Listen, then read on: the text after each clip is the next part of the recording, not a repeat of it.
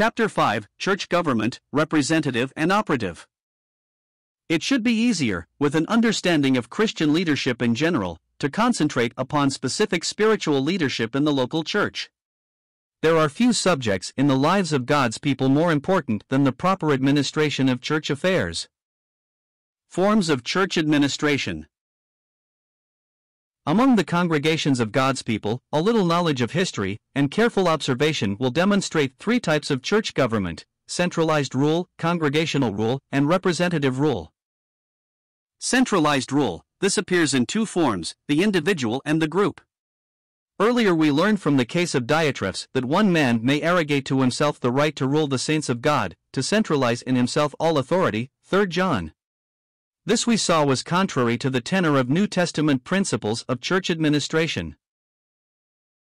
About 1,889 certain bodies in England and Scotland were torn by the divergence named the Needed Truth Movement. This movement resulted in a confederacy of assemblies which claimed to be exclusively the house of God and the Church of God, teaching that all other Christians belonged only to the Church of Christ, the Church that is His body. In the matter of assembly administration, the assemblies in the Confederacy subscribed to a united oversight, sometimes called a district oversight. In actual practice, there was among them oversight in four expanding spheres assembly, municipal, county, and national. All matters of discipline and importance had to be decided or approved by this centralized rule, at one level or the other. Congregational rule The reaction of many to a totalitarian rule is a swing to a democratic system. In such a scheme, all matters are placed before the entire church, and decisions are made according to a congregational vote. Congregational rule provides the most carnal believer with as much right to direct the affairs of the congregation as the most spiritual. This policy finds no support in Scripture, nor are there examples of it in the Apostolic Church. Representative rule Elders are not as much the representatives of the Church, deputies to act for it before God and the world, as they are the representatives of the Lord, his delegates over his people. There are three assertions in the New Testament which sustain this idea. First, they are divinely appointed, Acts 20 verse 28. Second, the area of their service is divinely allocated. The Revised Version reads in 1 Peter 5 verse 2 Feed the flock of God which is among you, exercising the oversight thereof not by constraint, but willingly unto God, not for filthy lucre, but of a ready mind, neither is lording it over the charge allotted to you, but making yourselves in samples to the flock. The new translation has a note that reads, Do not be as persons lording it over your possessions, viewing the saints as something belonging to you. Third, godly elders must give an account of their rule and those under them when they appear at the judgment seat of Christ. Hebrews 13 verse 17. Biblical Church Administration Representative administration is delineated for us in the New Testament.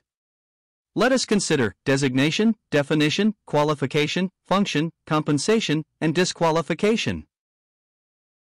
Designation We know from the tenor of New Testament principles that in a properly constituted congregation there are priests, 1 Peter 2 verses 5 to 9, bishops, 1 Timothy 3 verses 1 to 7, and deacons, 1 Timothy 3 verses 8 to 13, and that while all are priests, all are not bishops and deacons. We know that all are priests only by spiritual birth, that some are bishops by spiritual endowments and appointments, and that some are deacons by spiritual character and service.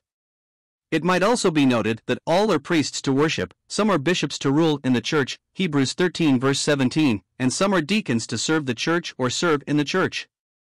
From these deductions, it is obvious that the bishops and deacons have to do with the administration of the local church.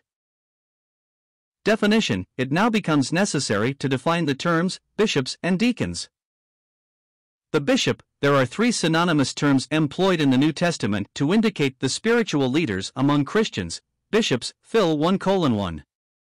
1 Timothy 3 verses 1 to 8. Titus 1 verse 7, elders, 1 Timothy 5 verse 17. Acts 15 verse 6, 20 verse 17, 21 18, and overseers, Acts 20 verse 28. That these refer to the same person is made clear by the context in which they are found. From these contexts, it is also evident that they are used only in the masculine gender. If there is any distinction among the English words, it might be expressed thus the word bishop suggests spiritual ministry, the word elder, spiritual maturity, and the word overseer, spiritual method.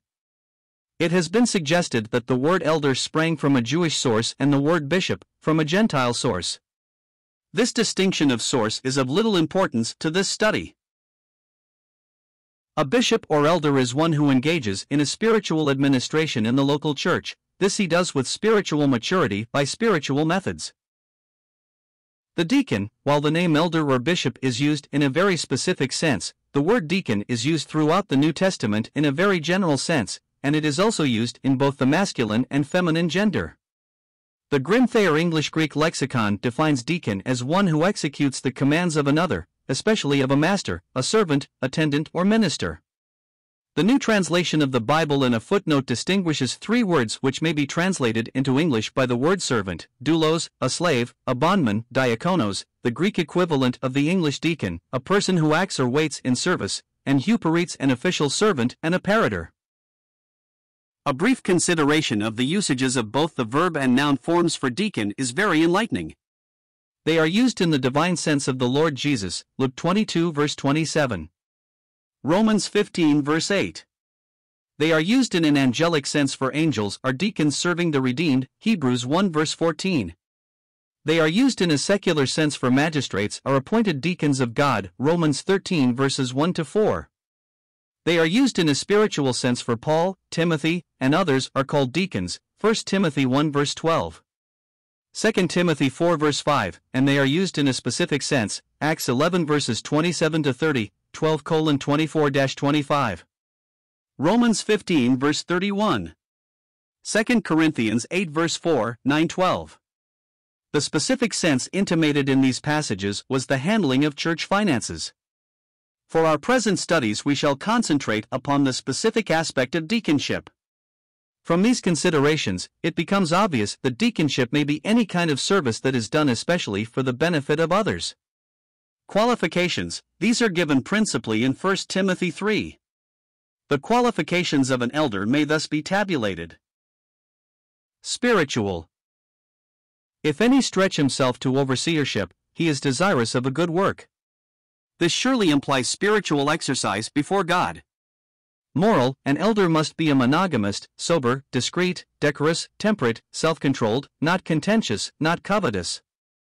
God imposes these qualifications upon all his own, but in the case of the elder, God demands that in these he be blameless. He must be irreproachable as an example before the flock, 1 Peter 5 verse 3. Social An elder is to be given to hospitality, to rule his own house well, and to have a good reputation among outsiders. Intellectual, he must also have an aptitude for teaching, this may be in private or public. Our King James Version is weak here. The meaning is not that the elder is liable to teach, but that he have the ability to teach. Experiential, a novice is not to be considered an elder. Any man engaged in this service for God's people must be, as the name implies, an elder, a man of maturity. The qualifications of a deacon are found in the same chapter. These may be similarly tabulated. Moral A deacon must be a monogamist, grave, not deceitful, temperate, not covetous, conscientious. With these, this requirement is demanded of the deaconesses, not a slanderer. Social, he must rule well his own house. Spiritual, he must hold the secrets of the faith in a pure conscience. Experiential, age is not suggested in this qualification. In its place, an approval under testing is required and only when a man has been proved reliable may he serve in this capacity. In all these things, the deacon likewise is to be blameless, for he too is to be an example before God's people. Functions The functions of these two levels of church administration are found in different passages of the New Testament. The functions of elders, some of these are found in Paul's address to the elders of Ephesus, Acts 20 verses 28 to 38. In this address, elders are exhorted to be pastors to feed the flock of God. V 28. The verb to feed used here has a triple meaning to feed, to heed, and to lead. They are also exhorted to be sentinels. V 31. The figure of wolves arising among the saints is a grave one, it pictures men who are cunning and cruel, and who are ready to destroy the sheep of Christ's pasture. Because of these, elder brethren are to be wakeful, alert. The enemy is ever attempting to infiltrate the churches of the saints. The elder is also to be a pillar of strength upon which the weak and needy may lean. He is to be ready to provide financial help to those who require it. V 35. According to other passages of Scripture, he is to rule well. 1 Timothy 3 verse 5, 517. Hebrews 13 verse 7 and 17. The meaning of the noun form of the verb to rule used in these passages may be noticed in Matthew 2 verse 6 and Acts 7 verse 10. The idea is to rule as did Joseph in the land of Egypt. The godly elder will lead by both example and authority, and this he will do diligently. This concept of the elder is referred to in five separate passages of the New Testament. It is, therefore, the most prominent feature of oversight work. To summarize the duties of an elder, we might suggest that he should be a pastor to feed sheep, a sentinel to watch for the enemy, a pillar to support the weak, and a leader who by example and authority directs the way. The functions of deacons, in Acts 6 verses 1 to 7, we have some excellent illustrations of deaconship. Widows apparently were being neglected in the daily deaconship of caring for the Christian community at Jerusalem. The apostles said that it was not proper that they be deacons of tables, for they were called to be deacons of the word, and they asked the church to select seven brethren to assume a deaconship in temporal matters. Here, the general concept of deaconship is seen in the ministry of the apostles, public preaching and teaching the word, visiting privately from house to house to do this in a quieter sphere, and to write epistles, and to engage in all things necessary to accomplish these objectives. Then we have the specific concept in the almoner, the deaconship in regard to temporal affairs. The two brethren Barnabas and Paul, when they carried the relief fund from Antioch to the famine stricken area of Judea, engaged in a temporary deaconship, Acts 11 verses 27 to 30, 12 colon 24 25. They were also the same as they collected funds for such use. 2 Cor 9. Romans 15 verse 25. The labor of love manifested by one Christian to another is called a deaconship. Hebrews 6 verse 10. In the case of Phoebe the deaconess, we learn more of the ministry of deacons. She was a succorer of many. Romans 16 verses 1 to 2. The word succorer implies a protector, a champion. Archippus received a deaconship from the Lord. We are not told what it was, but apparently he was negligent in it and had to be stirred up by the Apostle Paul, Colossians 4 verse 17. Putting all these references together, we learn much about deaconship in the local church. The deacon's work may be that of administering temporal affairs like the seven men of Acts 6, it may be the collection of money like Paul and his companions, it may be to help and protect others like Phoebe, it may be to carry funds to their destination like Paul, it may be a church assignment in which one can be careless like Archippus. Furthermore, the work of the deacon may be very temporary in nature as seen in several of these references, or it may be continual as in the case of Phoebe. Disqualifications Seldom do we realize that according to the divine principles set forth in the Word of God, elders may disqualify themselves through moral failures or become disqualified through physical frailty. Humantide being what it is, depraved, provision must be made for any possible spiritual or physical deterioration. Standards must be met, in 1 Timothy 3 verses 1 to 7, where Paul states the qualifications required of an elder, we have the English word must. The elder must be blameless. This word must could be rendered, it is binding upon the elder that he be blameless, or it is necessary that he be blameless. This word emphasizes that God has set a standard with which we must comply, it must not only in measure be attained but maintained, otherwise the elder is disqualified. A brother may be an elder over God's people only as long as he meets the standard stated in God's word, he must be blameless, not sinless, but irreproachable. Sin must be rebuked. In writing to Timothy about elders, Paul uses two different verbs for to rebuke. He, in the first instance, writes, Rebuke not an elder, 1 Timothy 5 verse 1, and in second, writes, Them that sin rebuke before all, 1 Timothy 5 verse 20. The apparent contradiction disappears when it is noticed that two different verbs are employed. The first verb, the one at the beginning of the chapter, means to inflict blows upon, to chide with. No one is to so treat an elder in the church, there is to be no display of belligerency. The second verb, the one in verse 20, means to expose, to reprove, to discipline. Even an elder, when he sins, is not to escape the discipline of the church. The time for retirement. While we must not base our doctrine upon Old Testament pictures, nevertheless, there are principles in the Old Testament which reveal the mind of the Lord in a very general way. In the Old Testament, the Lord gave rules for the retirement of the members of the tribe of Levi. There are two passages which deal with the years of service for a member of the tribe of Levi, Numbers 8 24 26 and Numbers 4 1 4. These divide life into four parts. The first part was the early 25 years. The second part was the five years between the 25th and 30th birthdays. During these years, the Levite was to wait upon the service of the tabernacle, to serve a sort of apprenticeship. The third part of his life, from the 30th to the 50th birthdays, was actively spent in the service of the most holy things. The fourth part, the years which followed the 50th birthday, was lived in at least semi retirement. It would seem to be the mind of the Lord that when a person's faculties become impaired either through illness or age, retirement is advantageous to the work of the Lord. The divine principles require that only those who have learned the ways of the Lord in a practical and experiential way and are spiritually, mentally, and physically vigorous serve as leaders among His people. At the conclusion of a monthly business meeting, an elderly brother said, Brethren, for forty years I have served this congregation in many different capacities, during those years I gave my best. I no longer have a best to give. I am not as alert as once I was.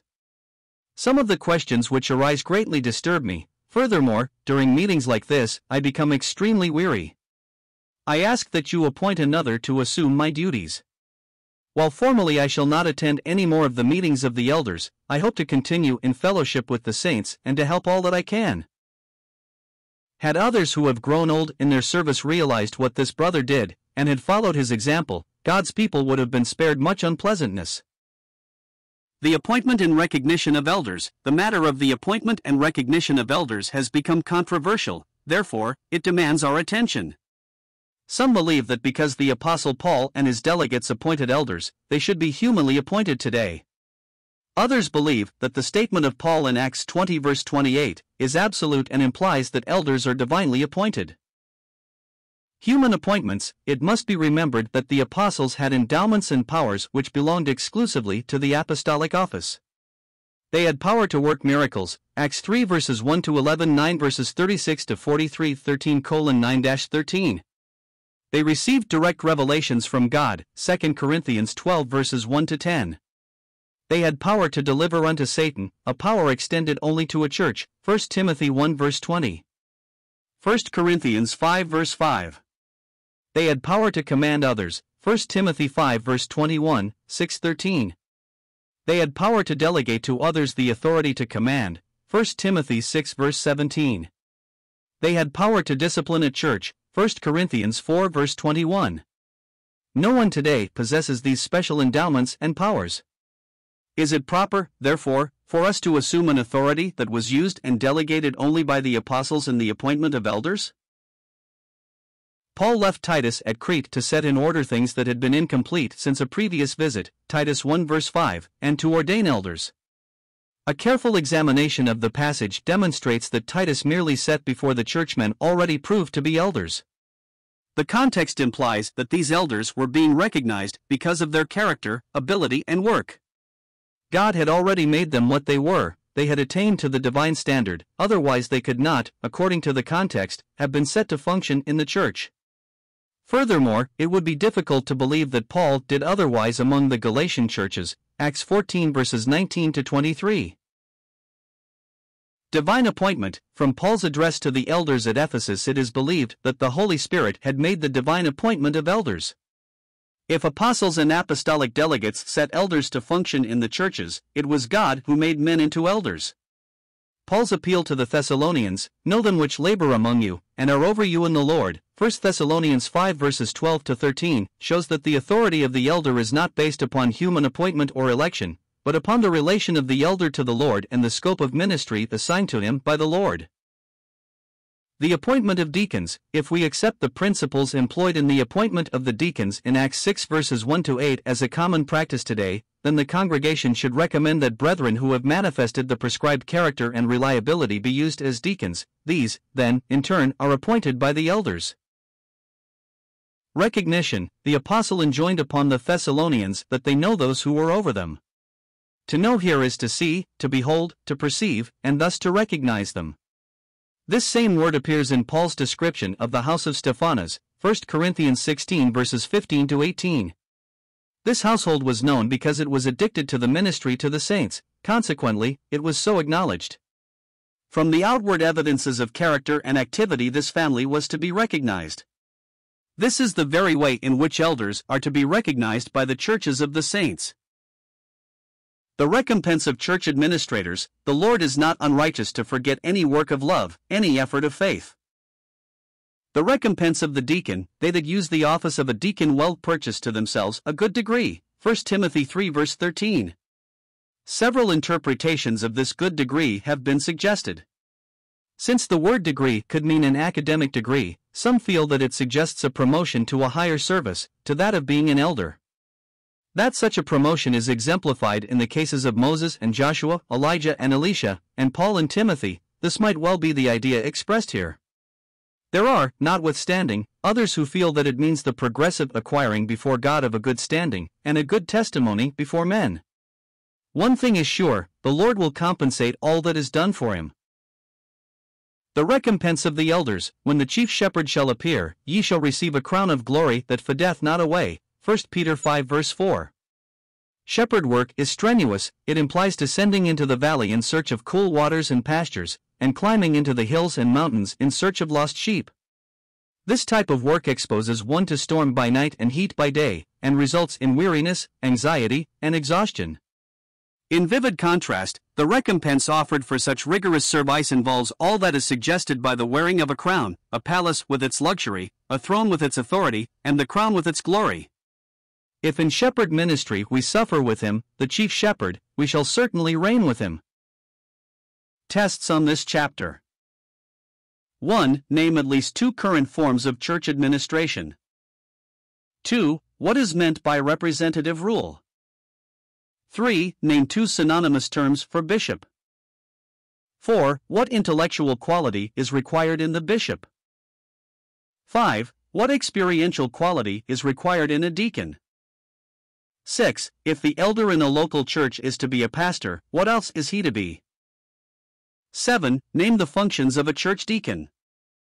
8. Who appoints an elder over a local congregation?